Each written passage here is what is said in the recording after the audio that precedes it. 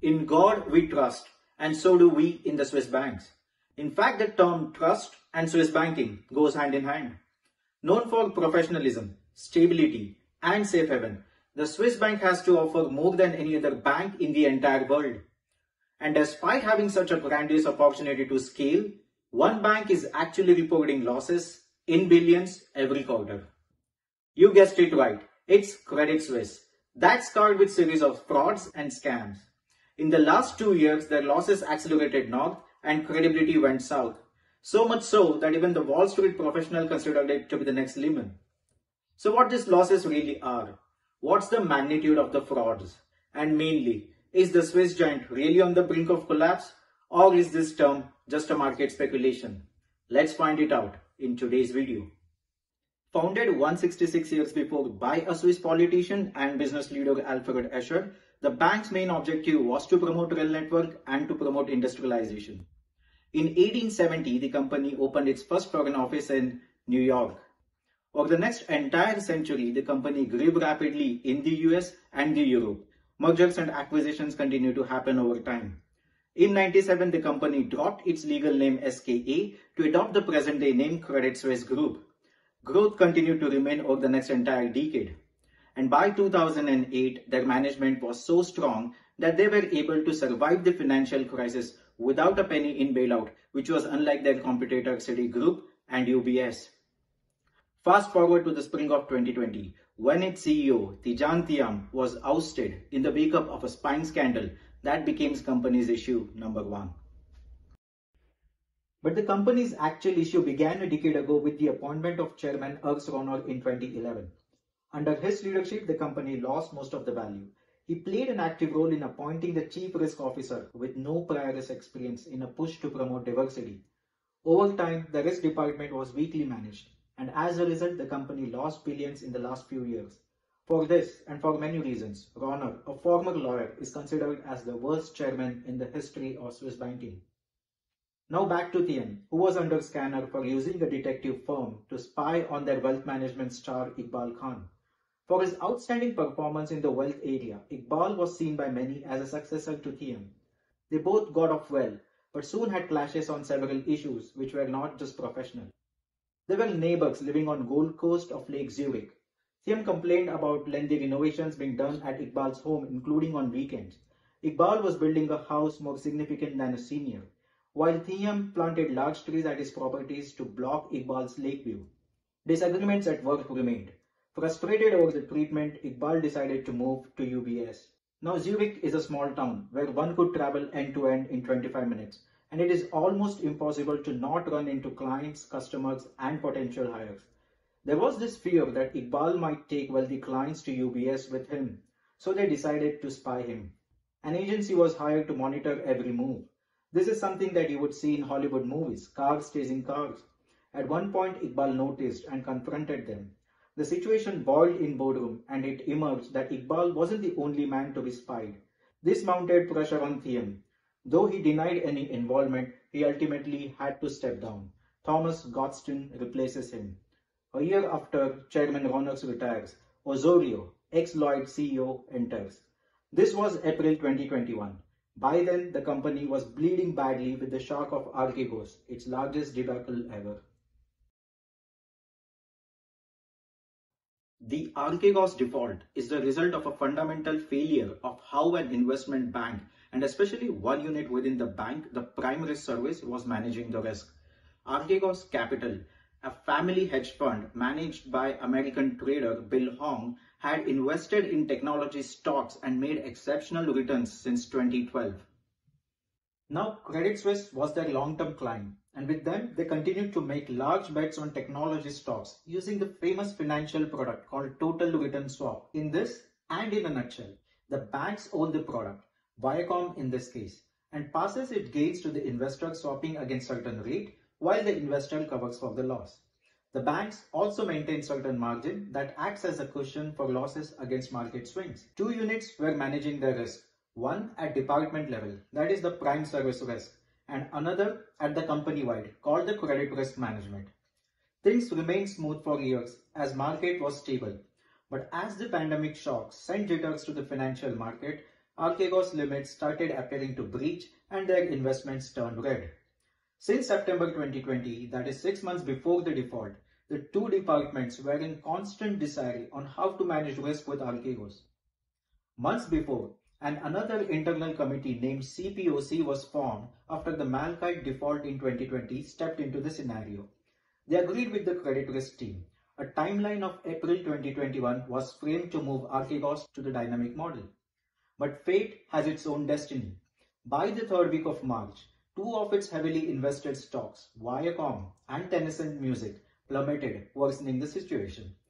With no money left to cover these hefty margins, Archegos filed for bankruptcy, drilling a huge loss in Credit Suisse books. Let me explain the Archegos situation in more simplistic terms. Imagine person X has a credit card not just from one bank but from 10 different banks. He has not just exhausted the credit limit but is also pushing the banks simultaneously to increase the credit limit.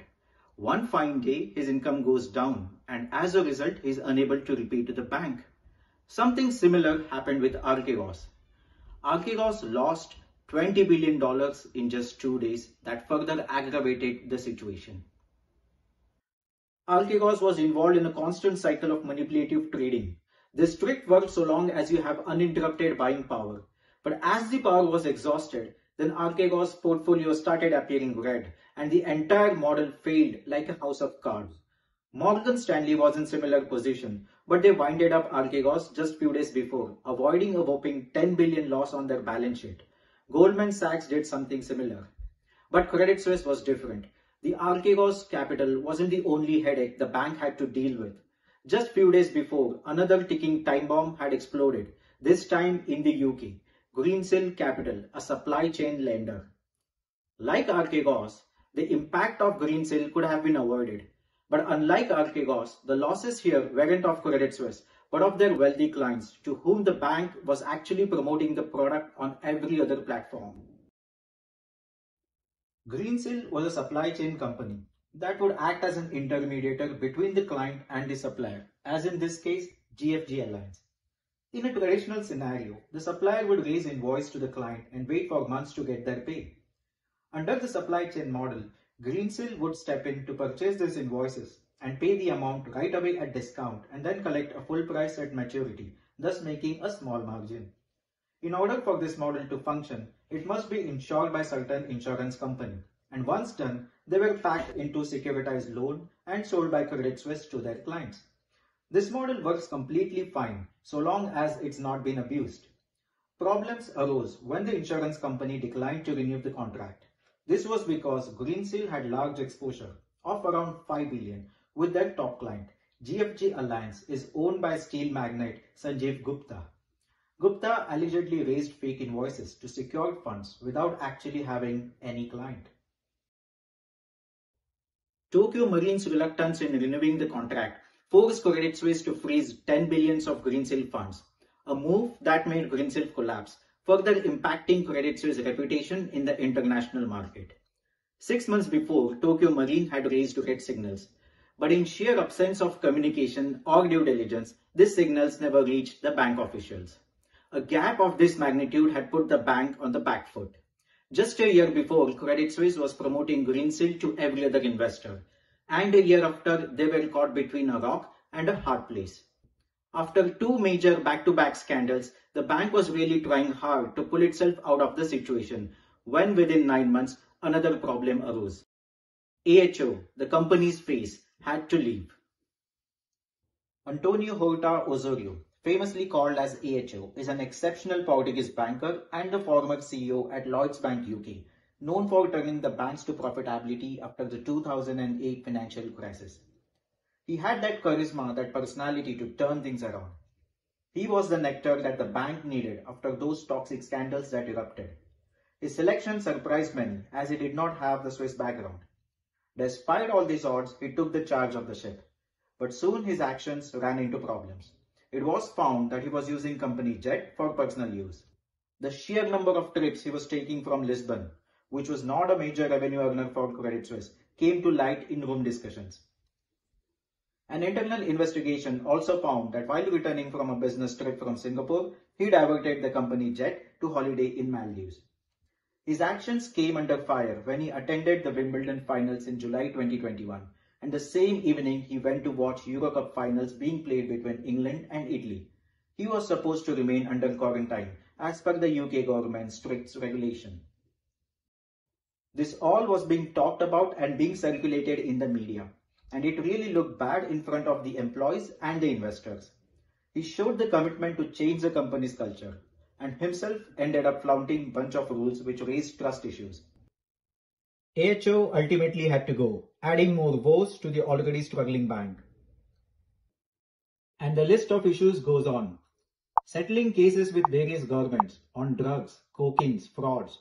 And then there's Swissleaks that talks about helping clients convicted in bribery and in human trafficking. From destroying evidences in Russia to credit rating downgrade, the bank has seen it all. Consolidating everything, we are looking at losses of around 11 billions in just two years, paid in penalties, bad investments or fines. That's almost the size of GDP of Mauritius. And yet we don't know whether we have hit the rock bottom or there's more to come. The company is definitely ailing, but on the broader context, the question remains, will it be the next Lehman? And if that happens, then how many businesses would it take along with it? And to answer that, I feel we are miles away from the Lehman moment. It's even historical to compare Credit Suisse with Lehman. And even if that happened, then the domino effect that we saw during the financial crisis would be far more controlled due to a bunch of regulations that came during the last decade. Practically speaking, the bank has got excellent tier 1 ratio. Tier 1 ratio talks about the bank's health and its ability to absorb more shocks like the Archegos. Moreover, two options always remain. One, restructuring. The bank has recently announced its plan to restructure its investment banking division. In this, the bank would be selling the SPG unit to a New York-based Apollo firm. This would help in de-risking the investment banking business. Additionally, the bank would also be raising $4 billion, of which 1.5 would come from Saudi National Bank and additional 2.5 would come from the sale of stocks to the investors. The current management is confident that restructuring would make the bank simpler, sustainable and profitable by 2024. The second and most important thing, the Swiss government. Like watches and chocolates, banking is at the heart of Switzerland's economy. Credit Suisse comes with a rich history of wealthy clients and has been one of the world's most prestigious banks. It is highly unlikely that this alpine nation would watch it sink while having chocolates when the question is about investing just a few billion dollars. With that said, we have reached to the end of this topic and I wish Credit Suisse flag keeps flying high. I hope you found this video informative and insightful. If the field of finance, history and current events excite you, then do subscribe to my channel, Blogger in Doctor. Also let me know in the comment box, what would you like to watch next? deep insights of the great fall of Lehman or the magnificent rise of Deutsche Bank.